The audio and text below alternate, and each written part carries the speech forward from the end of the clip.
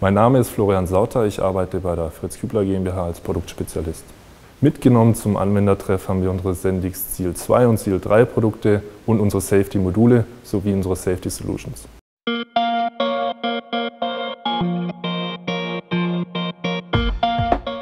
Unsere Produkte werden später in Maschinen eingesetzt. Diese Maschinen benötigen oft ein Sicherheitslevel. Der Kunde hat mit unseren Produkten den Vorteil, dieses Sicherheitslevel zu erreichen.